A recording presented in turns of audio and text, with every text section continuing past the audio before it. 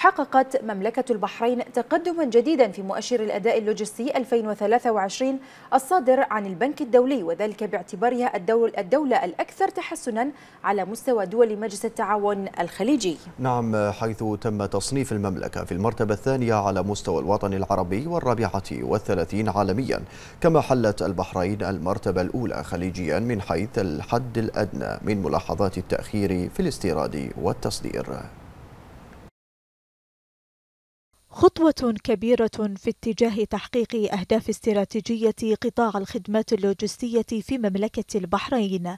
هذا ما أشار إليه أرقام التقرير الصادر عن البنك الدولي بشأن مؤشر الأداء اللوجستي للعام الجاري والتي أعلنت تصنيف البحرين في المرتبة الثانية على مستوى الوطن العربي والرابعة والثلاثين عالميا والدولة الأكثر تحسنا على المستوى الخليجي في القطاع اللوجستي.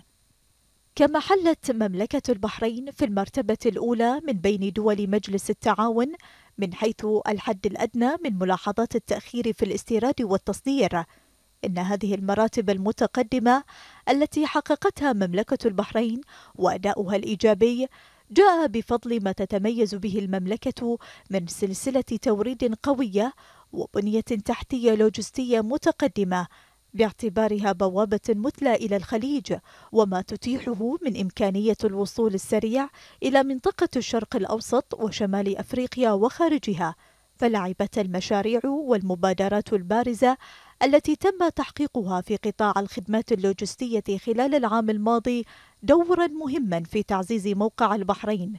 فقد تقدمت المملكة 58 مركزا في مؤشر التوقيت الفرعي لتحتل المرتبة الثانية على مستوى منطقة الشرق الأوسط وشمال أفريقيا والعاشرة عالميا فيما يتعلق بأقل وقت لمتوسط الاستيراد الجوي.